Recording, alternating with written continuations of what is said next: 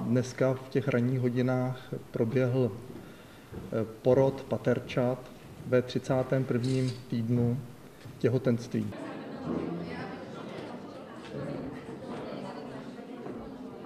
Eh, Ten výkon trval zhruba eh, hodinu, hodinu a půl a probíhal podle našich předpokladů. Neměli jsme zatím žádnou nějakou zásadní komplikaci.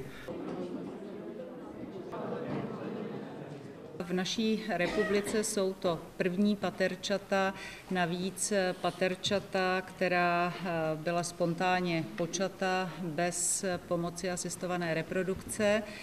Eh, Výskyt eh, nebo pravděpodobnost výskytu takto mnohočetného těhotenství spontánně vzniklého je cirka 1 na 48 milionů těhotenství. Jenom bylo to třeba hodně času stráveného nějakým place, nějaký kancelář. Teď jsou na jednotce intenzivní péče, jsou umístěni v inkubátorech, výživu zatím dostávají eh, v infuzích.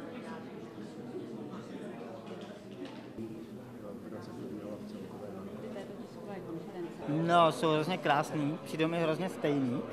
A to asi doufám, že to tak nebude. A s- hrozně plakali, což jsem rád, a jsou zdraví. během tří hodin, eh, takže protože to byla zcela unikátní záležitost, která se odehrála